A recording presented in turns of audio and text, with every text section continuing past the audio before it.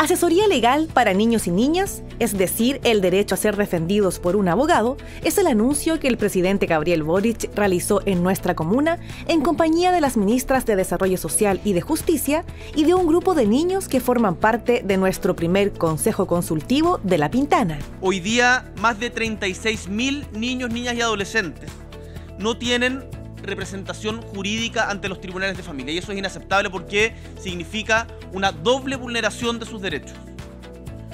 Es muy difícil recuperarse de las heridas de la vida que no son responsabilidad de ellos si es que no se tiene algo tan básico como el derecho a una defensa, una representación jurídica adecuada. Por eso con este programa nos estamos haciendo cargo de esta indefensión. Antes del anuncio, el presidente se reunió con la alcaldesa Claudia Pizarro y con este grupo de niños integrantes de la Oficina de Protección de Derechos y ahora participantes del Consejo Consultivo, quienes plantearon sus inquietudes y le entregaron oficialmente un libro con las propuestas que tienen para hacer de nuestro país un lugar mejor para todos los niños y adolescentes que habitan nuestro territorio.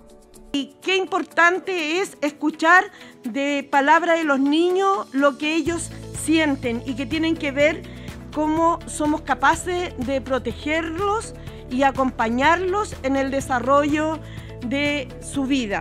Estas fueron algunas de las opiniones de los representantes de los niños de la Pintana con respecto al anuncio y su conversación con el presidente Gabriel Boric. Y yo mencioné sobre el tema de la educación de la libre expresión y la identidad de género que por qué los chicos no podían tener el pelo largo y las niñas no pueden maquillarse, si total expresan su opinión. Bien porque no solo los adultos se le tienen que tomar en cuenta, los niños también son importantes porque son el futuro del país. Me parece súper bien porque eh, que escuchen la opinión de los niños, de cada niño y de cada niños, niñas y jóvenes de la comuna y de todo el país.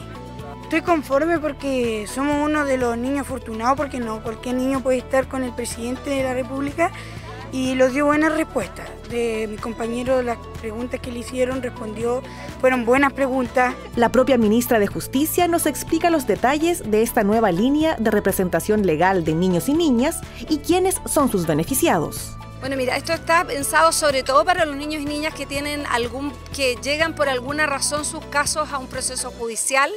Eh, muchos niños están, por ejemplo, en proceso de disputa de sus padres de quién tiene la custodia de los niños y a veces ahí el papá o la mamá tienen abogados, pero los niños no tienen un representante. La idea es que en cada caso, ya sea de abuso sexual, de custodias, de familia, a veces también de patrimonio, de herencia, de lo que sea, de temas penales, estos niños y niñas puedan tener una representación propia. Finalizada la actividad, el presidente Gabriel Boric visitó la feria de San Rafael, donde conversó con los vecinos y escuchó sus inquietudes.